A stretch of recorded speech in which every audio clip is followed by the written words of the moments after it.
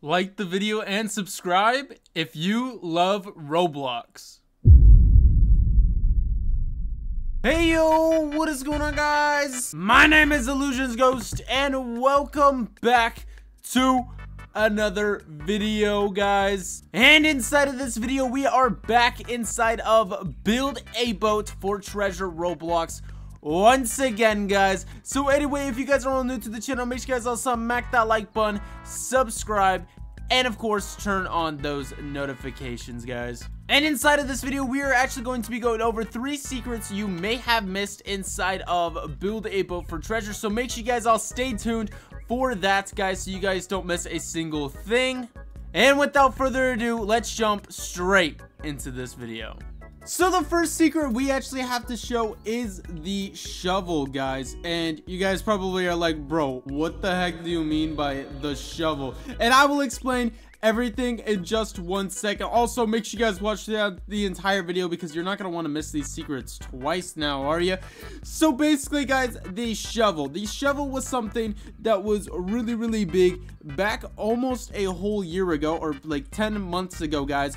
Actually, inside of the Halloween update inside of Build a Boat for Treasure, all right? So this shovel was actually um, given to you so you can actually dig up dig spots around the map and even inside of this cool little event, there was actually a secret within it. So as you can see, you can actually use this shovel to try to dig up stuff. And when you actually dig up stuff, you get free items, guys. So the majority of the items that you end up actually getting are usually candies. All right, as you can see, I got the red candy inside the last clip, and inside this one, I actually got the pink one. Okay, so yeah, there are only basically candies that you can actually get from this, but inside of the secret, inside of this that I was actually talking about earlier, um, there is actually something much, much better that you can actually get. So as you can see, Noob Illuzions Ghost is actually heading over here to this secret temple, alright?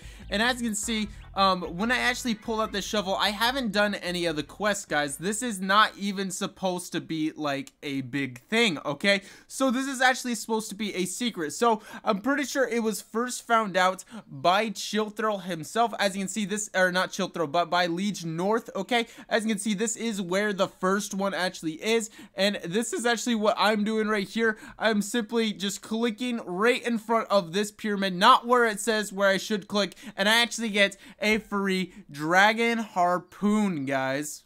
Now, this actually was a free Robux item, guys. So, this is a big, big deal. And the reason for that is, is because it's a Robux item and you don't even have to spend Robux to get it. Like, are you serious? Okay, so there are a bunch of, of these little spots. All right, as you can see, this this is actually the correct location. And again, I get candies. But um, if there's actually more locations around the map where I'm actually able to dig up and actually get more dragon harpoons, guys. Now, this actually has allowed me to get 63 harpoons dragon harpoons guys. That's more harpoons like this is, i almost have okay well not not counting these harpoons because i have 600 and you know 78 of these because you know i bought a lot of chests all right? But these are actually robux items and i have 63 of them without really spending that much robux on them. And the cool thing about these things is that they actually have a homing feature to them. So like if i'm if i'm like running diagonally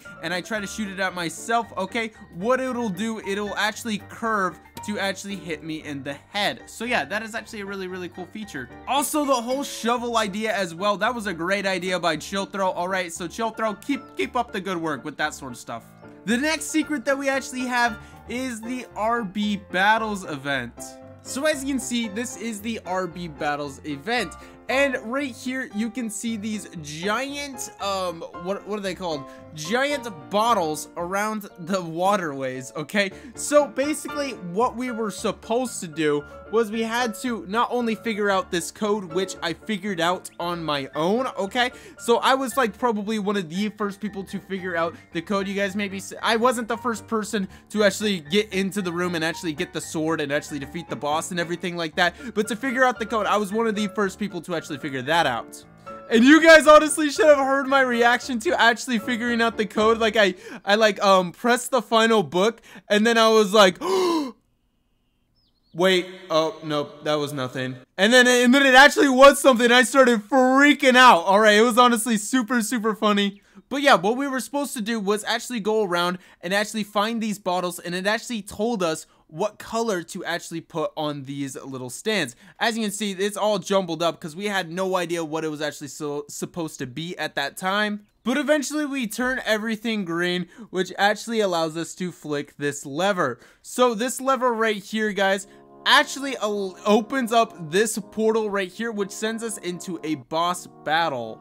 And then we actually have to survive for such a long time. And then upon beating this um, boss right here, you actually get the blue sword in the RB Battles event. So why this was such a big deal is because the RB Battles is a huge Roblox event that actually has to do with tons of different Roblox games, guys. So, Build-A-Boat was lucky enough to have one of the swords inside of it. Alright, one of only three swords inside of it. I think Piggy had another one, and like Robeats had another one, guys. So this honestly was a really, really big deal for Build-A-Boat, guys, alright? And I can't, I just can't believe that Build-A-Boat was a part of it, and that I was actually a part of it in trying to solve this thing. Now, the last secret we actually have today is actually the Fabi boss inside of Build-A-Boat for treasure, guys.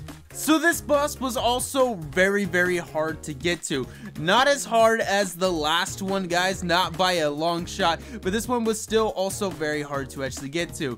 Not only did you have to find this secret room, which honestly took um, me, Jesse, and Fusion like 10 hours to actually find, just continuously playing Build-A-Boat to actually find this thing, but you also had to figure out some code on the piano, which couple hours, guys, alright? Then you had to make your way to yet another secret and actually find the black key, which then you guys were actually able to open up the door to fight this boss. And upon completing this boss, you'll get some free gold, some bread, and of course, the Fabi plushie. So I, for one, think that is actually one of the best updates inside of Build-A-Boat for history. And also, you can still fight this boss if you guys really, really do want to.